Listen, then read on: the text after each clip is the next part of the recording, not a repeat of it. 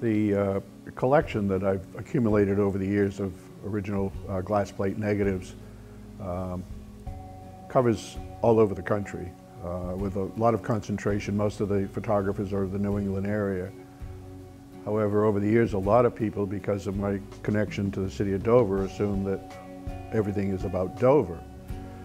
So the idea of this exhibit uh, is to broaden that uh, collection so that people realize that this is a collection of images representing uh, life on the beach in the early 1900s, uh, transportation during that period, how portraits were done both in the studio using skylight windows but also out on the family farm with the kids sitting on a horse. It does include uh, a few scenes in Portsmouth and Rochester and Dover which most people are familiar with as far as my collection but we broaden that by trying to expand it. We have a lovely display of hunting and fishing and camping.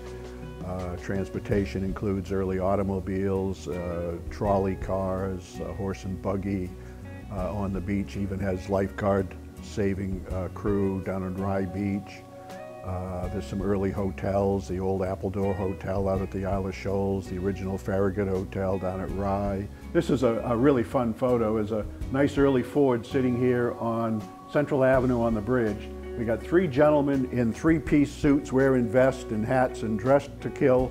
Probably just came out of the bank and you don't realize it until you really take a few minutes to look at the photo and there's two deer strapped to the fender of this car.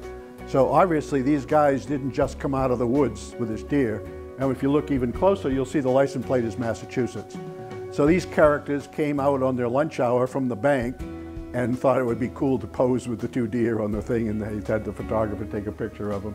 And that's right on Central Avenue. It takes you back to time when uh, photographers really had to know what they were doing. This was done on glass. Uh, you basically got one shot. They would have to set up a large camera on a tripod. Uh, people would have to pose, and in most cases, especially early on, had to basically be motionless. And the photographer would make the exposure. And they didn't have light meters. They didn't have instantaneous shutters. Everything was done from experience. And these guys would then have to go and develop the plate. You had a glass negative this collection represents dry plate, which came out in 1880. And these are plates that were pre-coated with emulsions in a factory and you would buy a box. As a photographer, you could, just like buying film, you would go into the darkroom, you would load your holders, you'd go out into the field, you'd take the picture, and you could then wait until you got back to the darkroom. Whereas Mathew Brady during the Civil War had to carry chemicals, had to coat his emulsions at the time of the exposure, and immediately develop them. Uh, I did uh, in, uh, did include a little bit of Dover. Uh, most of the Dover, a lot of the Dover stuff people have seen, so I didn't want to spend a lot of time on Dover. But I tried to pick a few that I thought were really pretty interesting. And I mentioned earlier about the photographer sitting up on the top of the chimney. And he literally did with a five by seven glass plate camera. He sits on the top of the higher, the taller of the two. Now, if you look today, there's only one chimney, but there originally were two chimneys or smokestacks. So he's sitting on the top of this chimney looking down onto the Central Avenue Bridge. And this is the photograph, and this is actually the roof of the mill. And this is right after the 1896 flood, when the Bracewell building that used to extend across the bridge was taken away. This is the rebuild the reconstruction of the dam. And so he climbed to the top. And while he was up there, he did other shots as well. There's some photos looking into the courtyard of the mill. During the 100th uh, year flood a few years back, I stood up on the roof of that, on the edge of the mill, looking down on the river, and that was scary enough, never mind climbing to the top of the chimney. But anyways, I kind of reproduced that shot when the water was coming right up against the bridge. But that's pretty interesting, and this photograph is the mill when it used to come all the way up Central, uh, wrap around and went down Washington Street as one, uh, one complex. So there's a few 1940s and some early. Uh, there is a photograph of uh, Dover's first uh, photography studio on Orchard Street, Bingham Studio, and it has a skylight um, uh, window. There's a couple of fire pictures, uh, Robbins Auto Fire, the 1968 when the Bracewell block burned.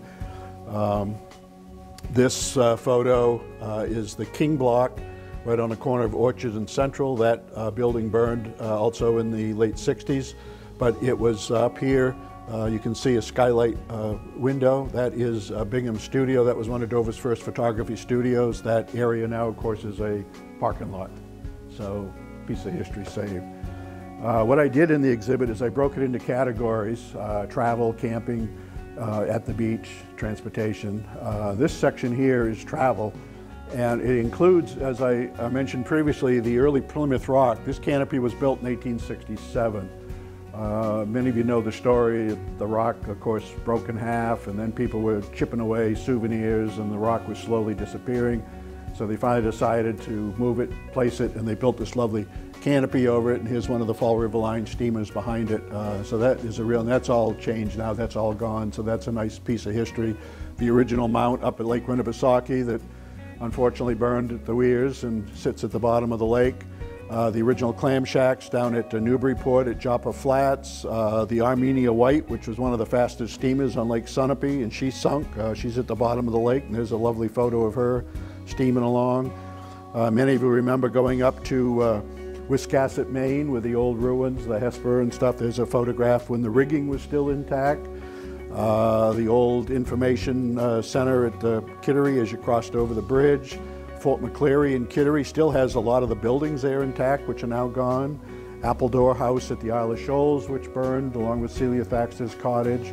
Uh, this is a very early, early photo of Ogunquit uh, when it was a fishing colony prior to the uh, artist colony, and that's a, a, really somewhat rare photo, I think. There's not a lot of that era. 1939 uh, World's Fair. Uh, Rochester Fair has been in the news lately, and here's an original photo of the old Cold Spring Park when it was uh, the old fairground. That's the entrance you use today, but that's the original old gate uh, with the cattle barn in the background. Fortunately, a lot of negatives early on went to landfills because nobody wanted the, the weight, the burden the, the, to deal with them. They would throw them away, and a lot of times when a photographer would die, the family would just get rid of them. They didn't know what to do with them. And you hear the stories about some of Mathew Brady's Civil War photos, you know, that were turned into a greenhouse. You know, that some of that's true, but they would literally, and there were some negatives here locally that uh, went to a local orphanage and the kids would scrape the emulsion off and paint pictures on the glass. They would recycle the glass. So had we not done this, um, a lot of these images that we're now seeing around and images that I have here would not exist.